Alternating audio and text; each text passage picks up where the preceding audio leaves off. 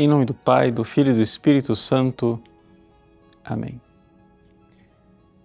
Meus queridos irmãos, Jesus hoje nos apresenta o mandamento do amor. Vejam, é interessante nós notarmos uma coisa. Quando Moisés subiu ao Monte Sinai e recebeu as chamadas dez palavras, ou seja, os dez mandamentos, não havia ali um mandamento que nos mandava amar Deus. Isso é, curioso, porque isso que está aqui, amar a Deus sobre todas as coisas, com toda a nossa força, inteligência etc., isso daqui não está contido nos Dez Mandamentos.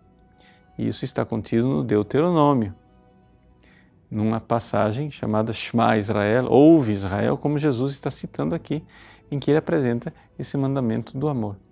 Mas por que que Deus não apresentou logo no início esse mandamento do amor? Se você for olhar os dez mandamentos como eles estão contidos no livro do Êxodo, capítulo 20, lá você vai encontrar que o primeiro mandamento é não terás outros deuses. Ali, Deus nos manda não cometer o pecado da idolatria. Ponto e acabou mas ele não pede o nosso amor. Por quê? Porque o povo não estava pronto para este amor. As pessoas começam a se converter inicialmente com aquilo que nós chamamos de amor servil. Ou seja, começam a amar Deus, sim, mas como escravos. Ou seja, como quem obedece leis, obedece mandamentos, mas não verdadeiro amor.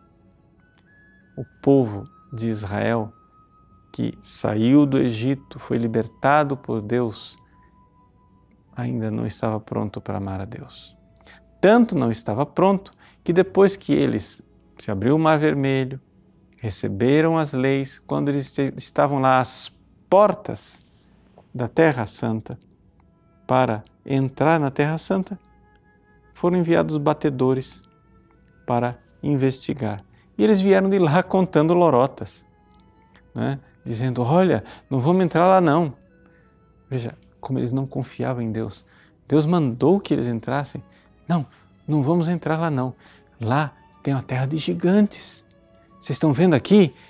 Esse negócio enorme aqui? Vocês estão achando que isso aqui é uma melancia? Não, não é uma melancia, não. Isso aqui é uma uva. Lá é gigante. Lá, olha, só tem gente terrível. E começaram a é, desconfiar de Deus e contar histórias.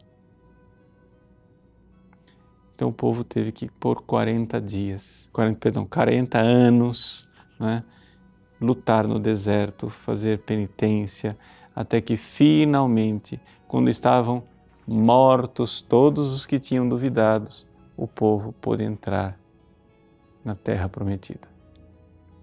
E pouco antes de entrar na terra prometida, Moisés praticamente no seu leito de morte, então revela o mandamento do amor. Amarás o Senhor teu Deus de todo o teu coração. O povo purificado estava pronto para amar. Isto ilumina enormemente a nossa quaresma. Por quê? Porque aqui está a realidade. Você precisa, em primeiríssimo lugar, amar Deus com amor servil. Comecemos por aí. Comece a amar seguindo os mandamentos. Vá se confessar. Siga os mandamentos. Fuja do pecado. Depois que você fizer isso, então faça penitência como o povo fez penitência durante 40 anos, até que a última paixão desordenada suma da sua vida. Então, quando morrer, a última paixão desordenada, você está pronto para entrar na terra prometida ou seja, está pronto para verdadeiramente amar Deus como ele merece ser amado. Mas é um processo, e esse processo precisa ser seguido. É este o caminho. Jesus aqui nos apresenta este maior de todos os mandamentos. Devemos querer um dia seguir esse mandamento de verdade, com todo o coração, toda a nossa alma. Mas para isto, nós temos que partir de uma base e esta base, em primeiro lugar, seguir os mandamentos, fazer penitência, ter uma vida de oração, viver a quaresma. Assim, estaremos pondo a casa em ordem para poder amá-lo de verdade. Deus abençoe você. Em nome do Pai, e do Filho e do Espírito Santo. Amém.